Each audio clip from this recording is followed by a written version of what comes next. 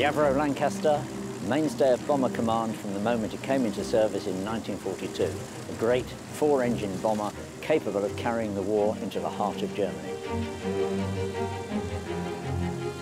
It really was a charm to fly. It really was such a different aeroplane.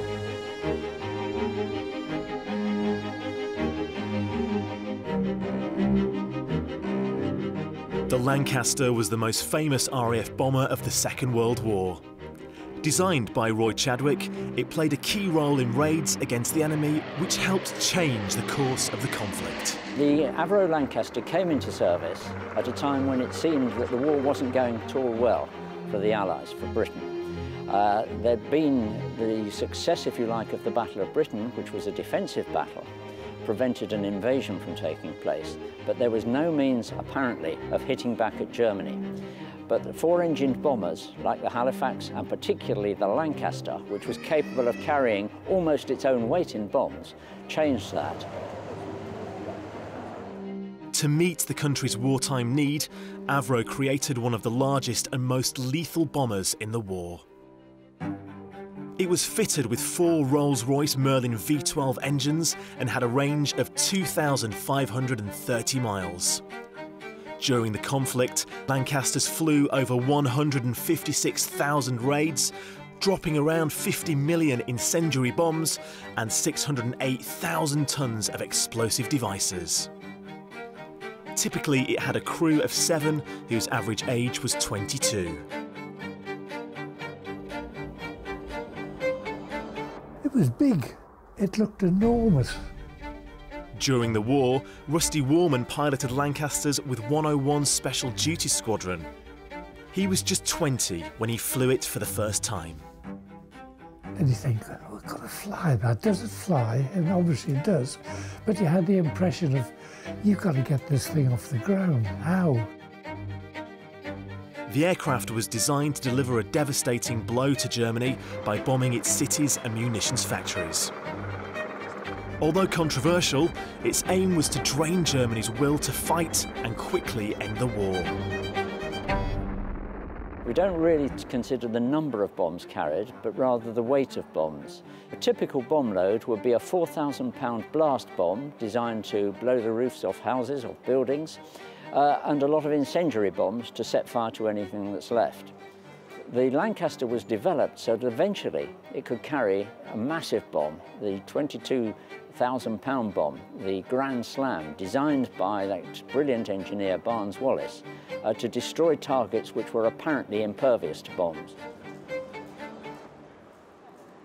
Right in the front of the aircraft, there's a, a, a glass dome with a clear vision panel uh, and behind that is a, a, sort of like a bench. And the bomb aimer would lie on that and peer through the bomb sight. And at that time, as they made their run up for the target, the bomb aimer is virtually controlling the aircraft. And he would press the button to release the bombs and then shout to the pilot or communicate to the pilot, bombs gone. These aircraft could really only operate at night. The uh, Bomber Command rear found out the hard way very early on in the war that the losses sustained in daylight operations were simply too great to bear. So they, they, most of the raids, nearly all of the raids, happened at night. Very difficult business, of course. Flying at night uh, requires special skills, immense concentration on the part of the pilot, uh, and it's a frightening experience. During one operation, Rusty and his crew had an extraordinary brush with death.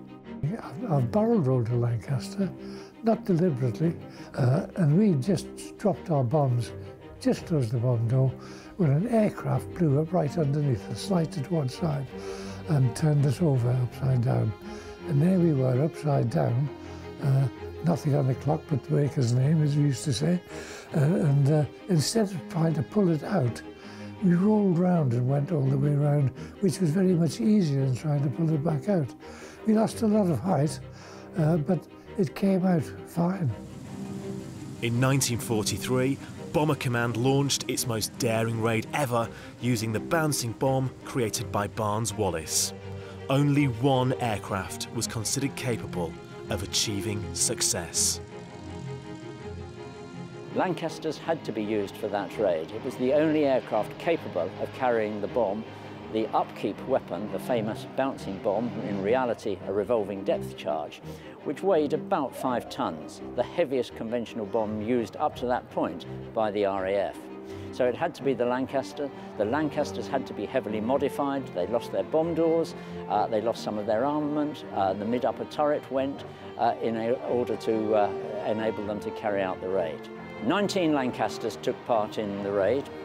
Uh, that was 133 young men. 53 of those young men never came back.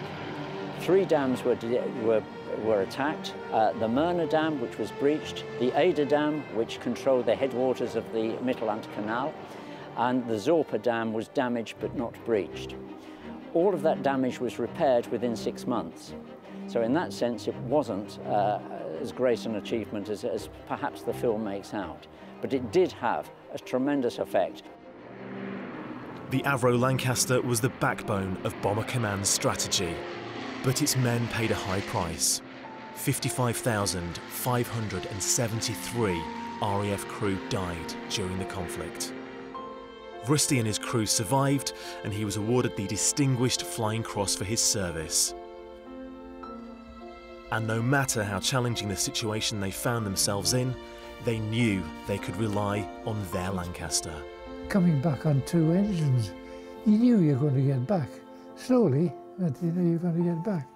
But, uh, so it really was an aeroplane to be proud of flying, really, and such a reliable old piece of machinery. And people who designed it deserve tremendous credit for what they achieved. Working or waiting, ground crews were under stress, marooned at cold, wet dispersals, miles from a cup of tea, straining to hear the drone of returning engines. It was a little song we used to sing, coming in on the wing of the prayer with one engine gone, we'll still carry on coming in on the wing of the prayer. So coming back off hops, coming back over UK, we got all the crew together and we all sang coming in on a wing of the prayer, which, which is all coldy as hell, you know, but it was great fun. At last, some came back. They'd come in with fuel tanks ripped open and engines wrecked, fabric burnt and metal like a sieve. Then we'd have to do a week's work in hours. Our motto, polite version, was you bend 'em, we mend 'em. It was an aircraft that helped win the war, the main aircraft that helped win the war. The Lancaster is truly iconic. Uh, there are only two airworthy Lancasters at the moment, one in Canada and that operated by the Battle of Britain Memorial Flight. And when that flies over, low with those four great Merlin engines belting out their song, uh, it's very evocative. And to those of us that can remember it from its past days, it's almost a tearful moment.